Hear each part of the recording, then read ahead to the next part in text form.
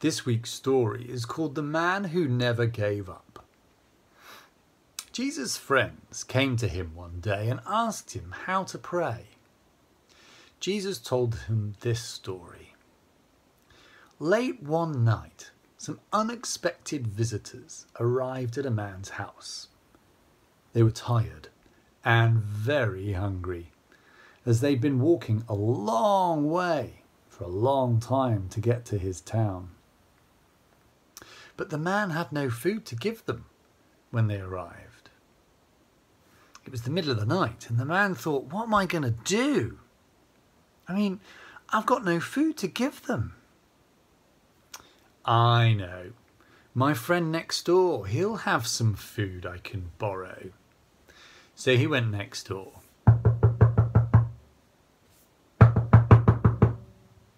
His friend woke up when he heard the man shouting and knocking on his door, shouting out for bread. Go away, he called back. It's the middle of the night. The house is locked up. We're all in bed. Come back in the morning.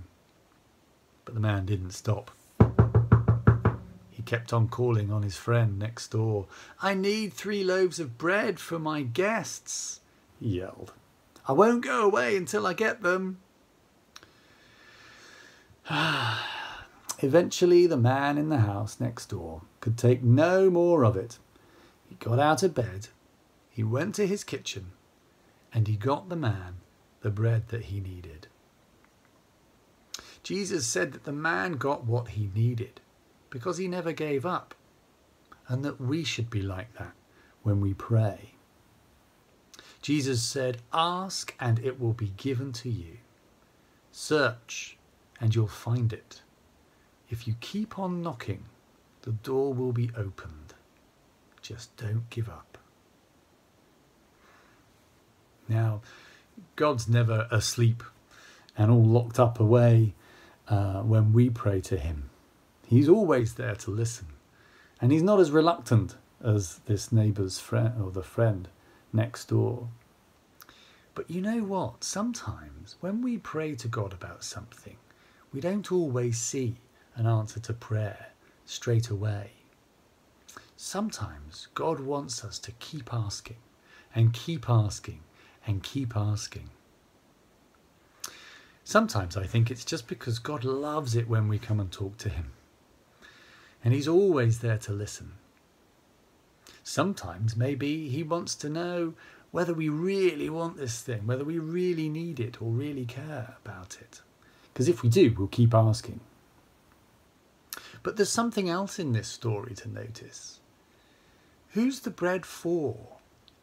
It's not for the man, is it? He's had his dinner. No, it's for his friends. And sometimes we need to pray for our friends.